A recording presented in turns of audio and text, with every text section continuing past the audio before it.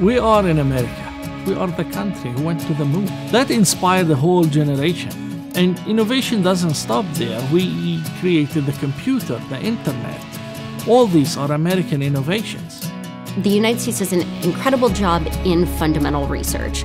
Where we and every other country struggles is that commercialization process.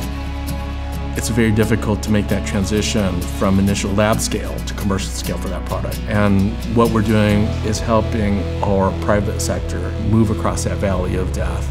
Manufacturing USA Institute, they encourage team building to begin with. And therefore, all these partnerships inherently create technologies which are immediately usable. We knew we were going to develop a technology that could have a huge impact on the pharmaceutical world. That's not something a little company can do. So our goal all along was find a great partner who could really take our vision forward. Without NIIMBL, I don't think we would have been successful developing our technology. We found that actually working with startups has provided us an opportunity to look at a lot of new product development initiatives. Now, it's not an either and an or, right? Because if you're working with a startup and developing a new capability, of course, the larger companies are also looking at that and they get to know about it through our member events, through our webinars and other exposure. So it's still one community. It requires a lot of upfront money to buy equipment and hire a team that can produce 100,000 parts. This is where the government agencies and institutes like IACMI comes in to help those small businesses bridge the gap. What AIM has done is just enable us to skip multiple steps along the way and it's amazing that there are these places set up that are specifically created for innovation and for letting startups access the best tools during development.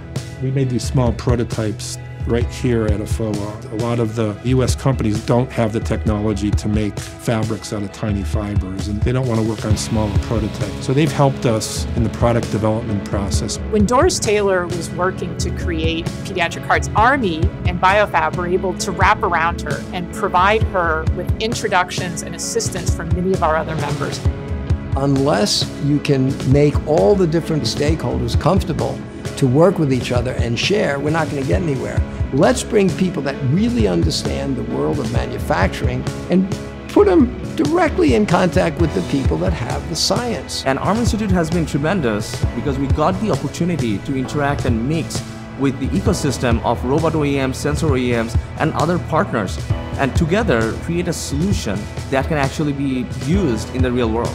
I had a startup and my company is folded in as now part of ThinkIQ. We would have not survived at all potentially had we not met ThinkIQ through our work with CESMII one thing that kind of unites us all is this hunger for innovation and a sense of patriotism that we can, as a country, produce amazing things. We're talking about national security, we're talking about public health, we're talking about economic growth. We see all of those things as a result of this investment. That is the role the institutes play. You cannot get more important. The United States is the land of innovation. We just need to take it to that next step and look forward to inventing it, developing it, and manufacturing it here in the United States.